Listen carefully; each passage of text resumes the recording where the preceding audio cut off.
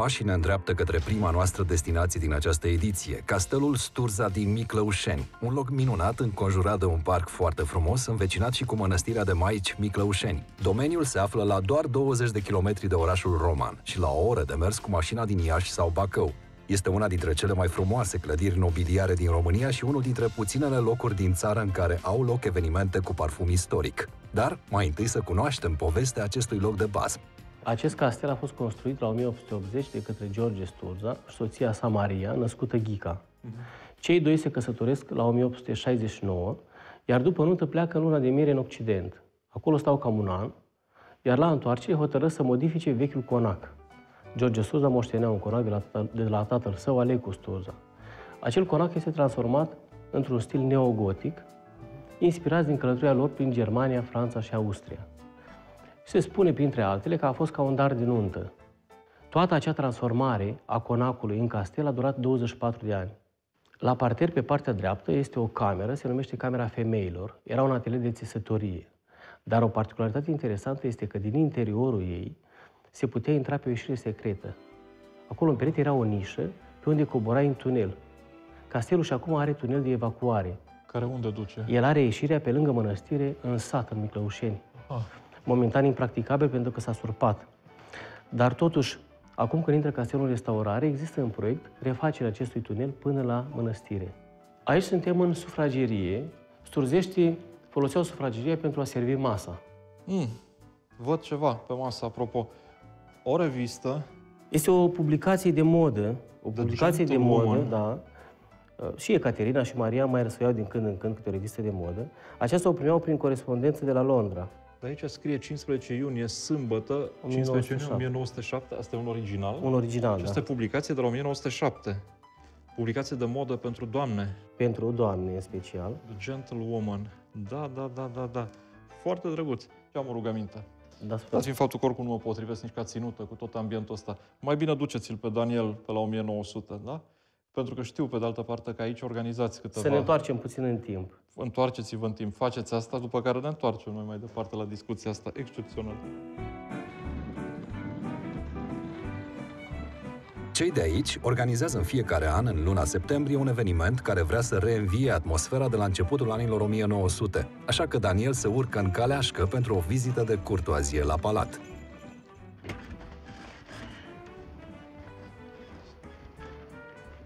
Bună ziua! Bonjour, mon cher! Bine ați venit la Castelul Sturza de la Miclăușeni. Bine v-am găsit! Călătorim în timp, pe la 1900. Vedeți, avem aici toate elementele care dau culoare începutului de secol. Avem un castel, o căleașcă veche, o vestimentație potrivită. Foarte frumos. Știți, foarte multă lume se întreba de ce n-am putea și noi să fim costumați, să retrăim măcar pentru o zi acele timpuri. Și atunci ne-am gândit să creăm un festival. Ce fel de festival? un festival Belle Époque. Belle Époque cu, cu elemente interbelice. Și așa la o naștere, festivalul călătoriei la 1900. Când foarte multă lume este costumată, ca și noi de altfel, atunci sunt mai multe calești, mai multe mașini, mai multe mașini de epocă, sunt tot, fel- tot felul de ateliere, partea gastronomică este ca la 1900,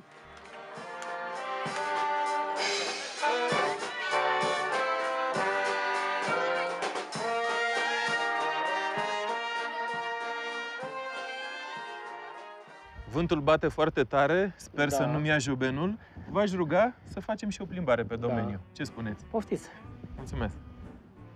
Arhitectura castelului este neogotic și sunt câteva elemente interesante. Deasupra ușii la intrare este blazonul familiei, crucea cu șarpele și leul, blazonul familiei Sturza, și lângă blazonul familiei, familiei Ghica. Iar de- deasupra acestui blazon este deviza familiei Sturza.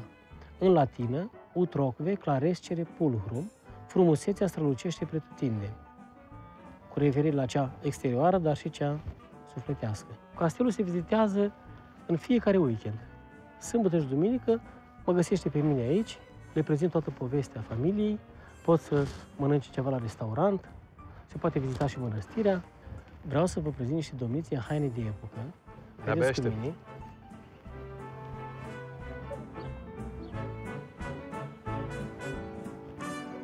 Bonjour! Bine Vă v-am salutăm găsit. mânușițele!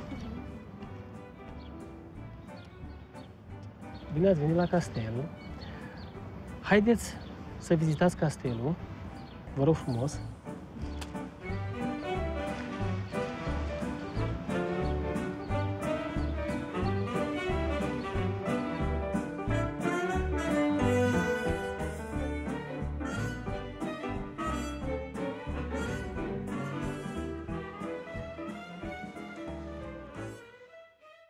Sper că vă place castelul.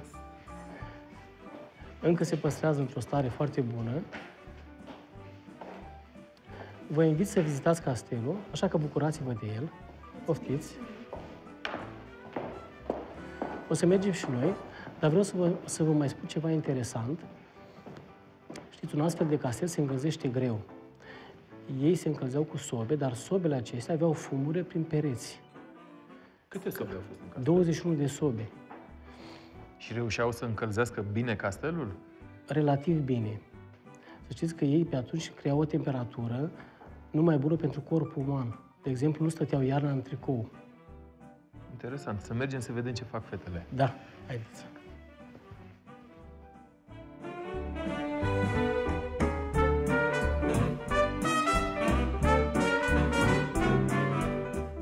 În acele timpuri se considera că fetele de familie bună și cu stare aveau nevoie de educație și de un soț bun și bogat, nu neapărat și tânăr. Se considera de bon ton să citești presa de cancan a vremii, să comanzi rochii după ultima modă de la Paris sau să vorbești în franceză la mesele în familie ori la diverse evenimente.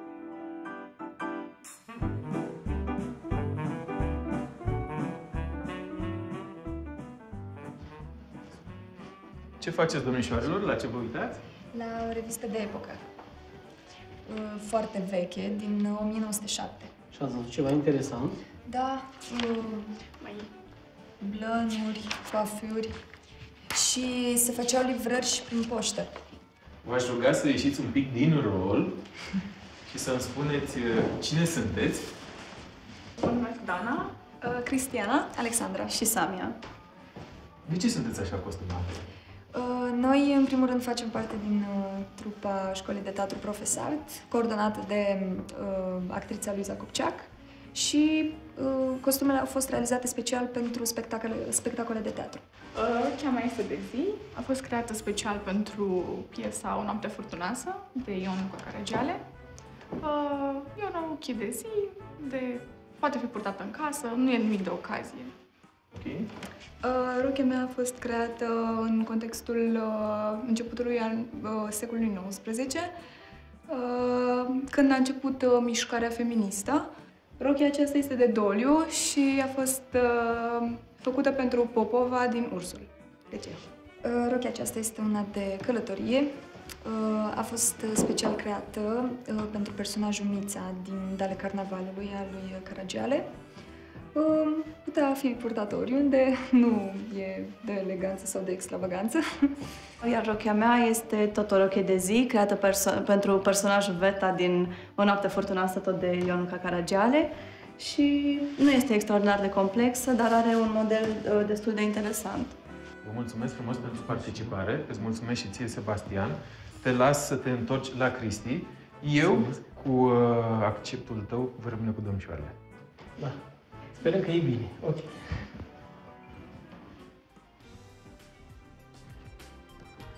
Am ajuns în salonul mare, loc unde se organizau evenimentele, doar că familia aceasta de la Miclăușeni nu organizau petreceri somptuoase sau baluri. Ei erau mai sobri, mai mult înclinați spre partea culturală și foarte apropiați de biserică. Organizau, uh, în schimb, un uh, tip de eveniment care se numea Serata Culturală, la care invitau personalități ale vremii. Cogălnicianu, Enescu, Nicolae Iorga. Ce au fost aici? Ce au aceștia. fost, da, ce au fost aici. Foarte frumos. Când era cald și frumos, serveau masa pe terasă.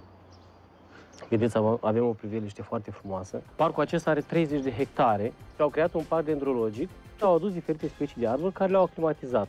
Printre cei mai interesanți este un uh, ginkgo biloba, nu se vede acum că încă nu este uh, înfrunzit, are cam 150 de ani. Ei l-au amplasat uh, special aproape, aveau sub el un foișor. Se spune că dacă stai sub el îți transmite energii pozitive. În perioada 1904-1944,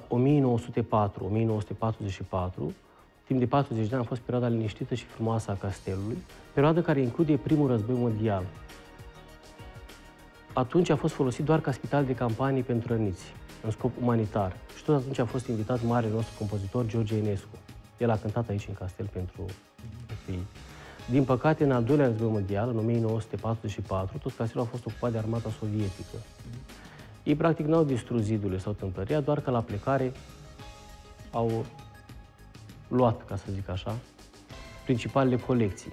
Colecția de tablouri, colecția de armuri medievale. Comuniștii transformă acest castel într-un depozit. Apoi, prin 1960, se înființează aici un spital pentru copii cu dizabilități. Un fel de ospiciu care a funcționat până în 2001, 41 de ani. Și în perioada asta se degradează foarte mult. În anul 2001, castelul a fost retrocedat proprietarului care l-a redeschis publicului după câteva lucrări de restaurare. În zilele noastre, toți cei interesați pot vizita în fiecare weekend acest loc minunat, asistați de un ghid profesionist.